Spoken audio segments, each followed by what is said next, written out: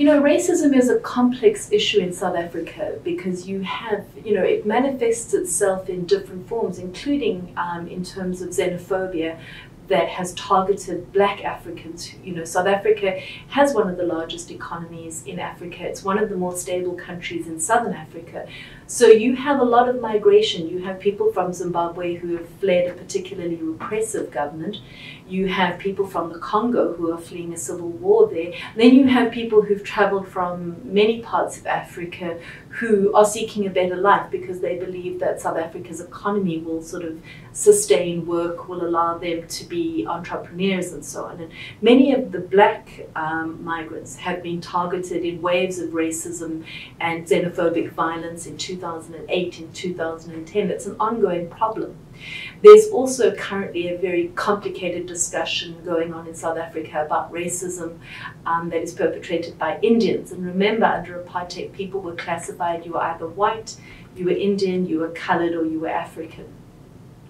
And so, you know, there is sort of a complex set of interactions around race, around class, around poverty that sort of, I think, leads to some violence. Um, I would say, though, that the sort of the most serious forms of violence are not necessarily around racism, although racism does play a role in that, but they're gendered.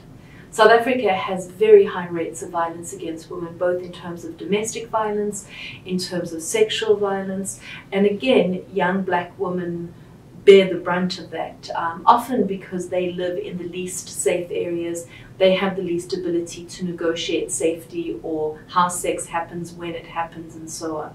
But South Africa is considered to be a particularly unsafe place for women to live in. I think it's part of a long history of institutional violence. It is part of sort of a toxic mix of patriarchy.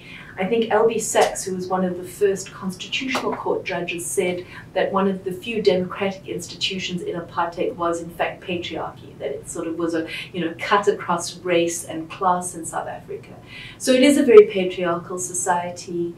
I think it's linked to issues of young particularly African men struggling to find their place in South Africa, you know, where they're unemployed, they're poor. Traditional ways of masculinity are linked to being a breadwinner, are linked to you being the head of your family, and, you know, social.